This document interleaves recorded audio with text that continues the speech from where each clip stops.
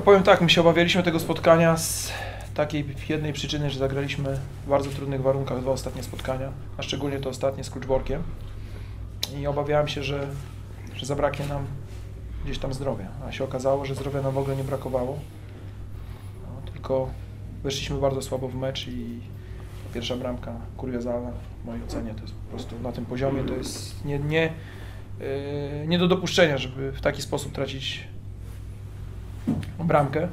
A uważam, że po tej nawet drugiej stronie zareagowaliśmy bardzo dobrze i poszliśmy do przodu i, i nie było widać tego na pewno, że graliśmy ten mecz w środę i ta druga połowa to, to, to, to, to była taka, gdzie, gdzie tych sytuacji sobie e, kilka stworzyliśmy. Na pewno tutaj trzeba to Grześka Lecha gdzieś tam uderzenie e, wymienić jako taka jedna z dużo dośrodkowań.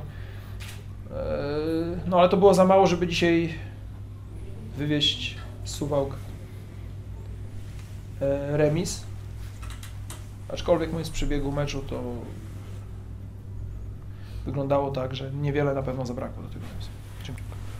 Na wstępie przede wszystkim chciałbym podziękować wszystkim, dzięki którym w ogóle ten mecz doszedł do skutku, bo jeszcze dwa dni temu tutaj mieliśmy 20 cm śniegu.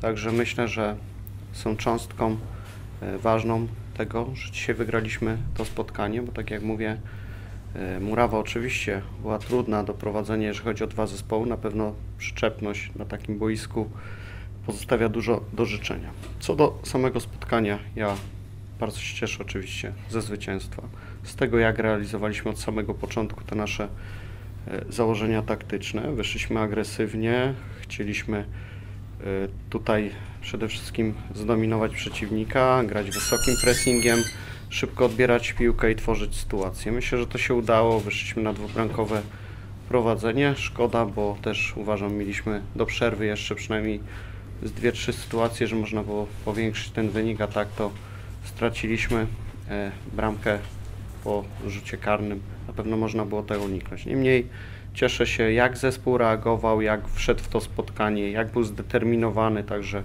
wielkie brawa dzisiaj dla zawodników, bo, e, bo na pewno mentalnie też byliśmy doskonale przygotowani do tego pojedynku. Radość dla kibiców, bo derby to zawsze podwójna satysfakcja, jak się nich wygrywa. Także jako zespół, piłkarze, my jako sztab chcemy zadedykować to zwycięstwo właśnie naszym tutaj suwalskim kibicom, którzy są z nami w różnych momentach i dzisiaj byli do końca. Dziękuję bardzo.